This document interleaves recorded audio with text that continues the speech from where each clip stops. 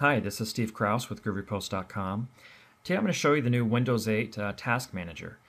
Um, now, Windows 8 was released this week at the Microsoft Build Conference, and uh, one of the large things uh, from the release of Windows 8 is the Metro UI. And so here you can see I'm in the, uh, the new Metro UI. Now, this I'm on a tablet, so obviously you won't see my, my hand strokes, but just to start off, one way to launch Task Manager is you just uh, come over here and you just search for it. So let's open up the tablet keyboard. And here I have the hand recognition. And so I'm just going to type in task. There it goes. Click insert. And then over here you can see uh, Task Manager over here on the top. Now another way to do it is you can actually just use the, uh, the keyboard. Okay, I'll click down here and put it into keyboard mode and then type in Task Manager. That's what I want. I'm going to go ahead and click it. Now, the new Task Manager for Windows 8 is brand new. Uh, one of the things about the Task Manager is kind of like with the iPad and iPhone. When the apps are, are not active, then Windows will suspend them. And here you can see down here like Remote Desktop, Internet Explorer, they're not actively used, so they're actually suspended. Um, it's a really nice app. You can see I'm recording this with Camtasia um, Studio, and so you can see that one's taken some CPU, uh, a little bit of memory, a little bit of disk. Um, you know, very cool stuff. Uh, if you scroll down, you can see Windows processes, sort of what they're consuming, background processes. If you click into performance, here you can see all the standards like uh, CPU, memory, disk, all those typical KPIs. Um, app history.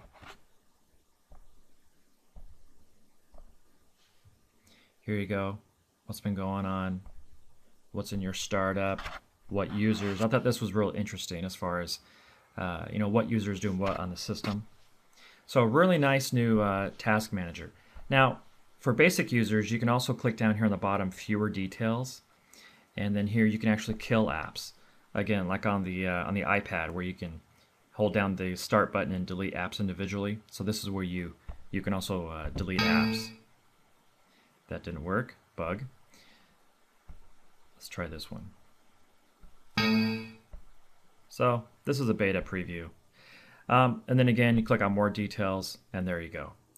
Now, another way to get here is if you have a keyboard, um, like I do on, uh, on my tablet, um, you can also use a mouse and you can right click on the, uh, the taskbar and click Start Task Manager. So there it is again. And you can also hit the Windows key R and type in task MGR. Now this is actually going to give us the classic task manager, uh, which we all know and love since the beginning of time. And again, nothing real, nothing real exciting here, other than uh, just your basic task manager. So they hide that a little bit. You're not going to know it unless you actually know the uh, the file name in System32. But overall, not bad. Again, here from the classic desktop, you can also swipe on the right hand side, search, again.